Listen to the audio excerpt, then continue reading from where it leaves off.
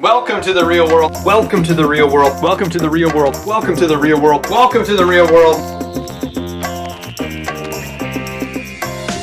We're going to give you reactions, reviews. Karson's with me, hungry, Mr. Oompa still with us. What did he think? And their relationship with the world.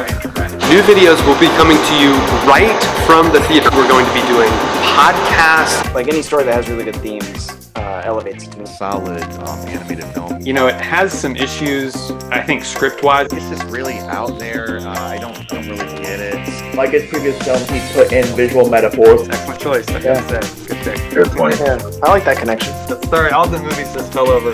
Karson is a klutz. uh, so, If you're huge fans of physical media, the film just looks better than it's ever looked. You can definitely see the influence it had. A lot of bonus features. A big box set. This is a steel book, two disc edition. One of the greatest cinematic heroes of all time. It's just a great film. you're joining with a group of people to go watch a film together, and you come out a different person than you were when you came in. Let you know how it is as soon as we get out. What did you guys think? Wow! We'll see you next time right here on the Reel World.